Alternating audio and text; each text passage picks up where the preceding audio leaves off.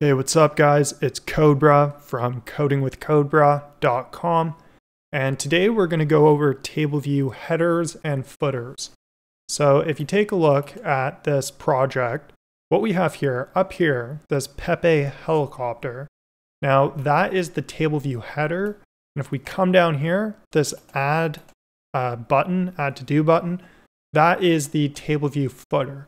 Now you also have section headers and footers. So this right here where it says first section and second section, that's the section header. So we're not going to go over that. We're just going to go over this header up here and this footer down here. Now I have this starting out project. I'm going to run it and you can get this in the description below. I just didn't want to run over making a table view, but pretty basically we have a table view programmatically we have a uh, just a array of strings which we're just displaying um, and that's about it. In here in our assets i have the pepe spaghetti picture and we're going to use that for the header. So i'm going to go over a header with an image and a footer with a button.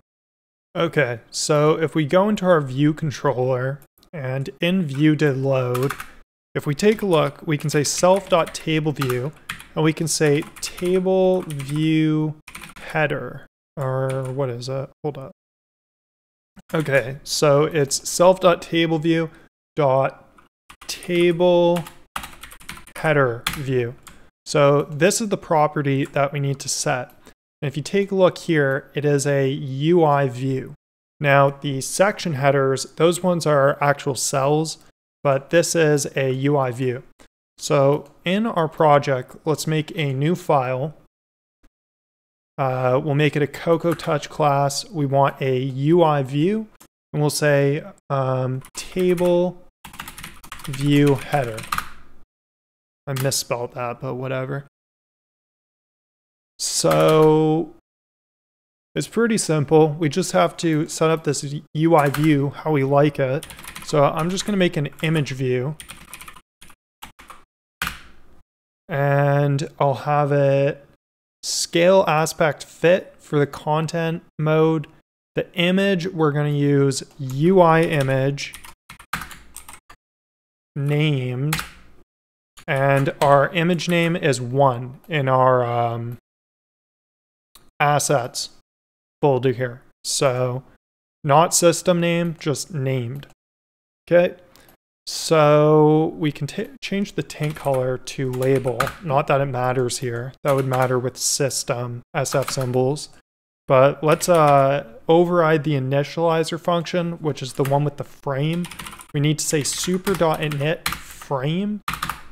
And then we can set up in here, we'll just uh, add our image view. So we're going to say self.add image, add pass in the image view. Now this is complaining. It wants the required init. So fix that and it will go away. We're going to say image view dot translates auto resize and mask into constraints equals false. Now we want to do NS layout constraint. I have an auto thingy for this.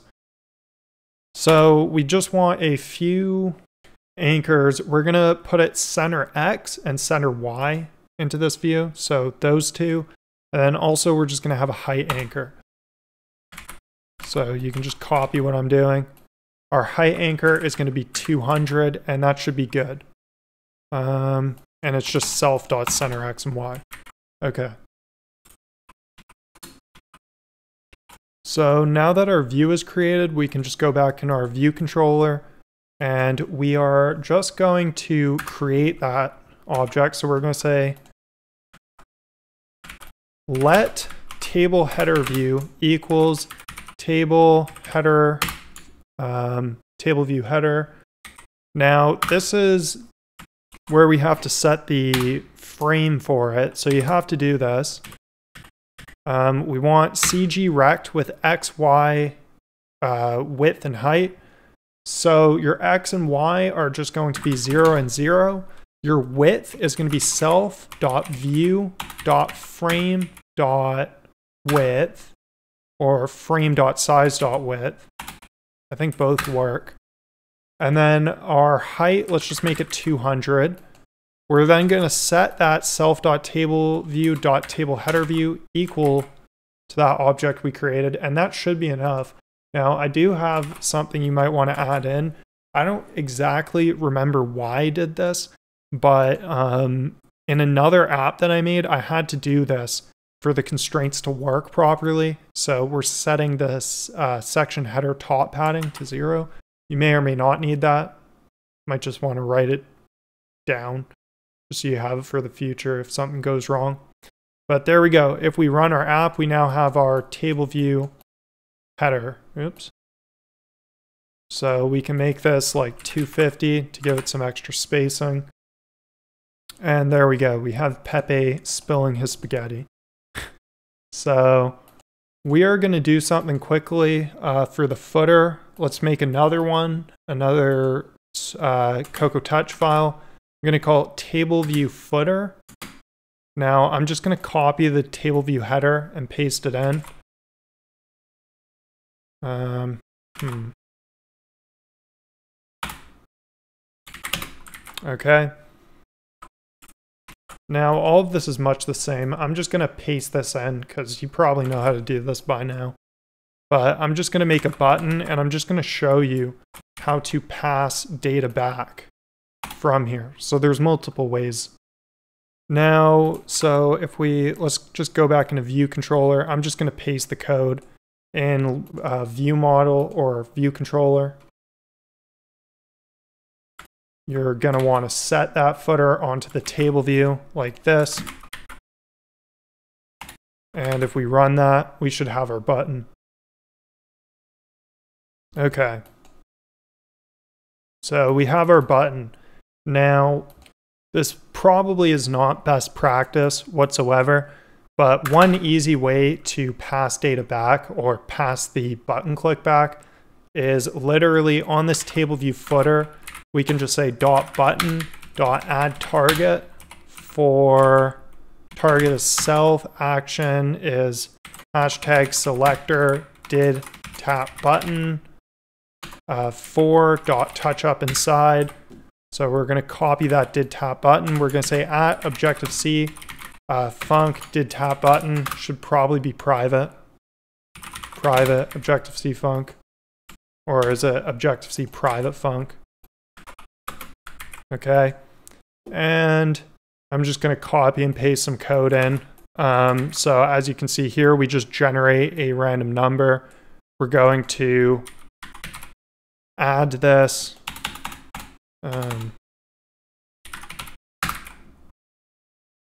um,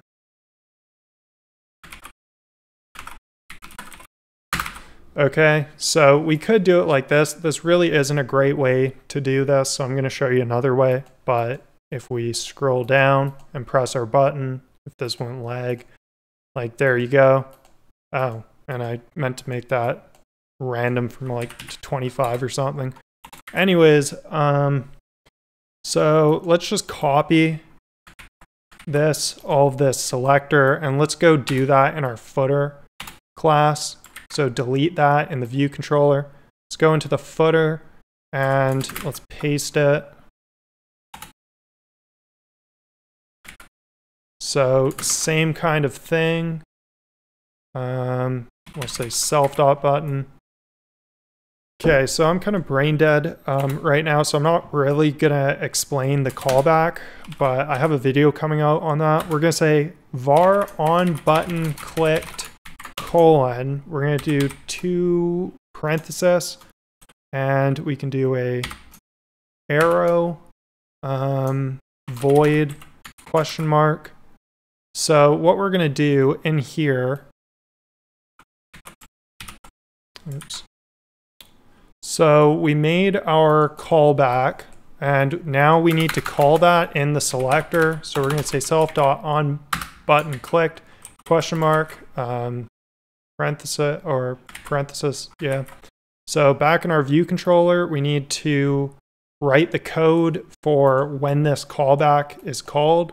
So in view controller, uh, view did load, we're going to say table view footer I cannot type to save my life. Table view footer dot on button clicked equals curly braces. We're going to do weak self.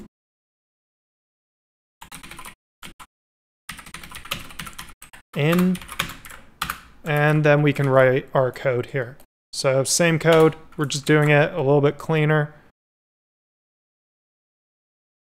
Now, this needs to be optional now, I believe.